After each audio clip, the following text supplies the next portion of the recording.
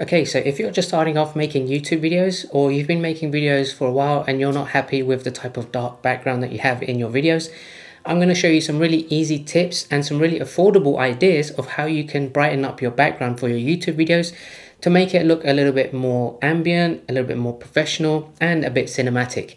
These are very easy things that you can do and anyone can start trying any one of these different lighting tips that I'm going to showcase. Now you all may already have a studio light or a ring light or a softbox, anything that will help lighten you up as the main subject, but maybe you don't have enough lighting in the background. Let's go ahead and showcase some of the things that I use for my videos that actually make the backgrounds look a little bit more cinematic. Starting off with just a normal floor lamp. Now I've got a floor lamp in the corner there. I'm going to go ahead and turn it on just so you can see what it looks like just lighting up with a blank canvas with all the lights off in my background and see how that looks. There we go. You can see it's starting to come alive, but you can see on this side of the room it's still pretty dark. So if you are going to have a floor lamp or maybe even a tabletop lamp somewhere, it does a nice little ambient lighting in the background, but you'd also want to illuminate maybe the entire background. So on this side of the room, I'm going to turn on some fairy lights because I think that's a very easy, simple, and very affordable way just to make it look very nice for your videos. Let's go ahead and turn that on. And there you go. It does light up and it is quite nice as well. It might not be the brightest of fairy lights, but you know, this is roughly around five to 10 pounds. It's very easy to buy on Amazon or wherever you want. And it's starting to come alive. Now let's move on to some other ideas just to give you a little bit more color and a bit more pop for your videos. I'm going to go ahead and turn on these lights on the wall here.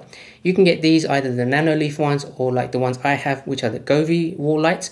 Let's go ahead and turn that on and there we go. It's very simple to set up. You literally just stick them on the wall, have them in whatever shape you want. And these are controlled via an app as well. So you can change these to any colors, any types of coloring patterns that you like and have them bounce to music, whatever you want to do. There's so many different options that you can do with lights like this.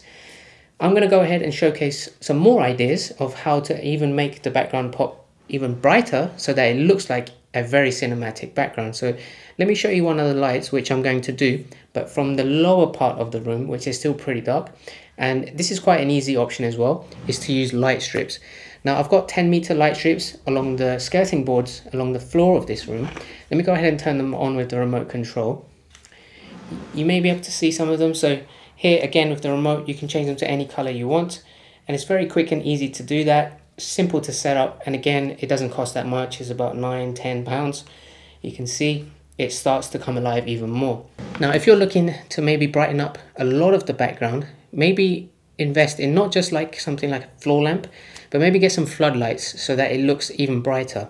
Now I have some Novostella floor floodlights that I'm using controlled via voice control and you can also use it via an app as well to turn them on. Or if you just want to have them at the same setting you can just plug them in switch them on and they just come on as a normal warm white light. Let me go ahead and turn those on. Alexa turn on the office lights. Now you're starting to see my room get really brighter now this is also very great because these floodlights can be controlled and changed to different colors using an app and it's very quick and easy and whatever ambient type of background you want, maybe you want to color match with your channel and the types of things that you showcase on your YouTube videos, then this is also a very great option as well. Now if you don't want to buy a whole bunch of these types of lights, then you can basically use something that you already have around the house.